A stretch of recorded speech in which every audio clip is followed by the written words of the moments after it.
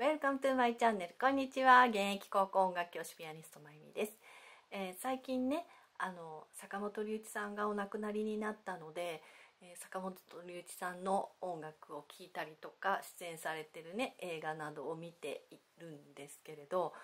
あの私自分で全然気づいてなかったんですけれども本当に私あの人生の節目節目で坂本さんの存在って大きかったんだなっていうのをすごい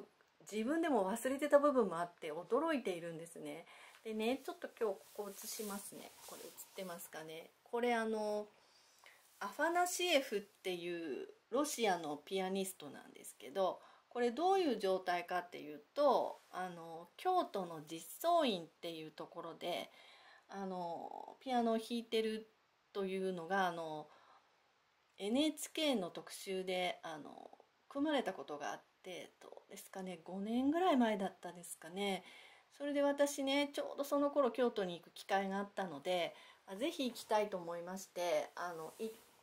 たんですね。でそうしましたらねあのそこの実相院の方がこっち聞いてないあの私がこの間アファナシエフさん来たんですよねってここに来られたんですよねっていうふうに聞きましたら、もうねスタインウェイを入れるのが大変だったんですよって言ってあちなみにって言ってお忍びですけど坂本龍一さんもいらっしゃいましたっていうふうに教えてくださってあそうだったんですねみたいな感じでそういうお話をしてたのを思い出しました。あの皆様はどのように、え、坂本さんという方をご覧になっていたのかなと思うんですけどあの私からするとあの方っていうのは非常に真面目な努力家っていうふうに見えました。あの天才というよりは優秀な方、うん、優秀な方っていう方だったと。あのどちらかというと、えー、前の奥様の矢野明子さんっていうのが天才型。あの方ってなんかあの全ての要素を混然一体となって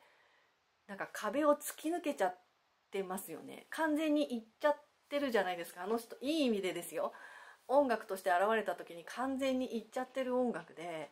でええー、って思うんですけどあの出来上がってみるとすごい魅力的っていう音楽。多分私あの坂本さんがあの矢野さんに惹かれた理由はそういう感じなんじゃないかなってずっと思ってたんですね。あの逆にすごいなっていうその自分アカデミックにこうちゃんとこう積み上げてきたあの坂本坂本さんっていうのはあの三島由紀夫の編集をやっていたような方の坊ちゃんっていうか息子さんなんですねだからまあ何と言いますかあの家庭環境も非常にそういうアカデミックなお家でお育ちになってる。そしてあのもうずっと東京芸大の先生に習ってらしてっていう、まあ、一時期ちょっと外れたこともあったりはしたらしいんですけど。であの坂本さんの曲ってどれを聴いてもあのちゃんと整ってますよね。必ず美しく最終的に整ってるではありませんか。うん、であのもちろん感性も素晴らしいんだけどやっぱり計画的に作られてるなっていうのはすごく思うけど例えばあの前の奥さんの矢野さんなんかはできできちゃったって感じですよね。もちろん考えてらっしゃると思うんだけど何て言うのかな。これ逆にアカデミアから上がってきた人間からするとあそういう方法があったんだっていうような感じで出来上がっているようなそういう音楽に感じる。で自分には絶対できないことがやれたのじゃないかなと坂本さんから見てですよ。と勝手にこれはもう勝手にの真由美真由美の視点でございますっていうふうに思う。あの坂本さんの曲っていうのはもう全部美しくちゃんと整っているし彼自体が非常に勉強家であの真面目でアカデミックな方だったからあのすごくクラシックの造形も深くてねあのスコラーであの見つけたのまた貼っておきますけどあのバッハとドビュッシーがやっぱりすごい好きだっていうのをおっしゃっててそこも私全く一緒なんですね。あのクラシックをやってる人間でバッハが嫌いだったらやれないんですよ。うん、ただ私はピアノでバッハを美しく弾くっていうのが苦手だったんですだからパイプオルガンをなぜかというとピアノっていう楽器はあのショパン以降にできた楽器なのでそのバッハの頃にピアノってなかったわけでしょ？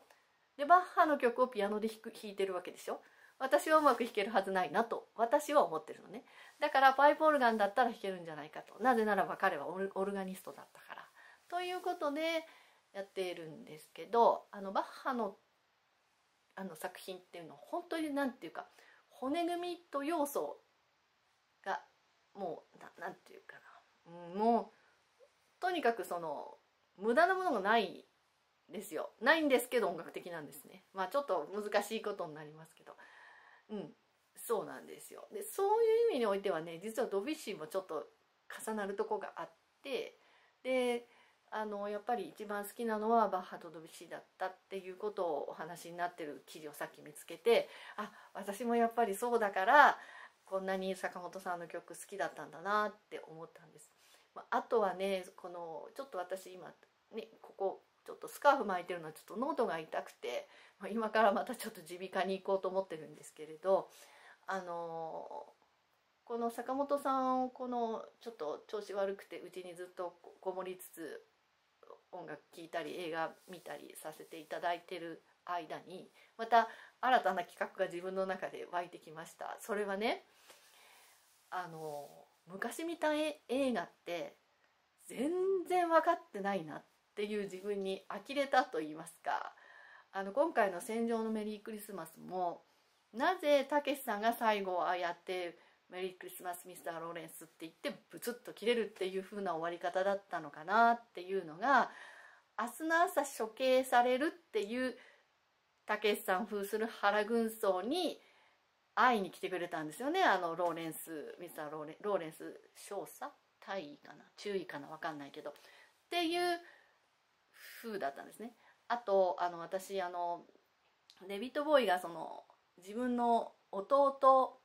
を思い出すシーンで流れる曲があるんですけど、えーと、坂本さんの曲でいくと「リグレクト」っていう曲なんですけどその中でこうボーイソプラノで美しくその弟さんっていう設定の人が歌うっていうシーンがあるんですけど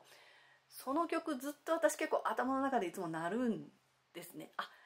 あれってそういう自分心の弱い優しいけど弱い弟を助けなかったっていうその後悔があって最後彼に許されて天国に行くっていうような設定になっていたりだとか、えー、坂本さん扮する与野井さんが実はその自分だけがその2点のあの自分だけが、えっと、2.26事件でしたっけの生き残りでっていうことをずっと恥じていたということでああいう真面目な感じなんだと。そしてまあ本当に 2, 2人とも光り輝くほど美しいんですけどあの坂本さんのあの美しさっていうのが世界にアピールした理由は三島由紀夫にそっくりだからなんだそうなんですよ。なるほどなと思って本当に美しいですもんね。だからああそういうことだったのかとそしてあの頃ってデビッド・ボーイって30ちょっとぐらいなんですよねあれ撮ったのね。でその10年後ぐらいにこの間お見せしたイマンさんという方と結婚されていらっしゃる。前の奥さんとの間の息子さんは今映画監督になられてたりとか。まああの皆さん波乱万丈の人生を送ってらっしゃるなとかね。なので、えー、これからやってみたい企画はね昔見た映画をまたちゃんと見直してみませんか？みたいなそういう内容でもね撮ってみたいと思ってるんです。あの今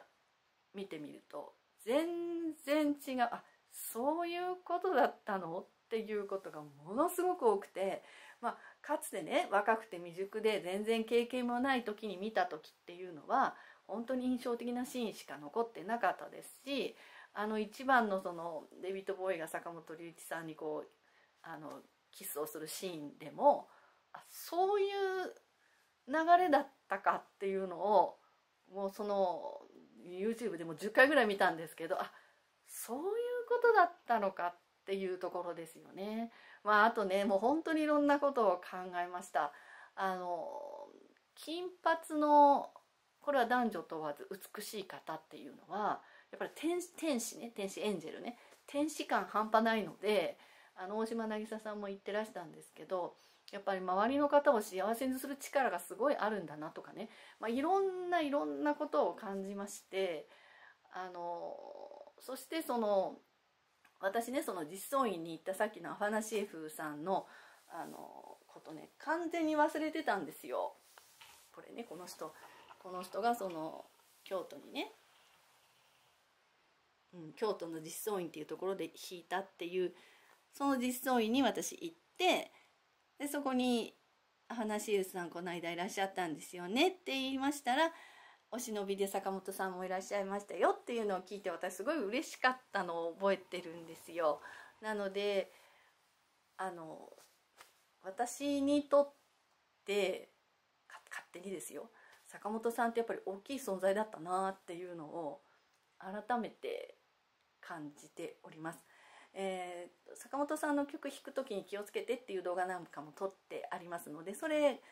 特にね女性参考にしてください。あのそしてあの、まあ、一つ申し上げておきますと、まあ、皆様ご存知だとは思うんですけれどもあの坂本さんの曲って著作権フリーではないのであの弾きながら演奏してるものは全て著作権に私あの引っかかっておりましてその回数っていうのは私のそのカウントには入らないけれども公開してはいいでもいいですよというそういう位置づけになっております。一応そのことはねあの一応教育者でございますのでその辺りのことははっきり申し上げといた方がいいかなと思ってる。著作権に完全にあの引っかかった動画になっております。前回前々回はですね。なのであのそこはカウントされません。はい。ではえいつも本当にありがとうございます。私にとって坂本さんとても大きな存在でした。自分でもその大きさに今驚いております、えー、未登録で、えー、今日も最後までありがとうございました。未登録でね見てくださってる方チャンネル登録していただけましたらすごく励みになりますし、えー、鮮明に近づくのでありがたいです。それではちょっとな今日は長くなってしまいました。いろいろなことを考えましたのであのいろいろ語ってしまいました。え、先日からねあのスカーフもちょっと取ってみるっていうことをお話ししました。これはあのバブル時代というよりはそうでもないですけど、まあ、エトロですね。すごく美しい、ね、エトロですね。はい。それではまた別の投稿でお会いしましょう。Thank you for watching. Subscribe highly rated please. So see you another person 最後までご視聴ありがとうございました。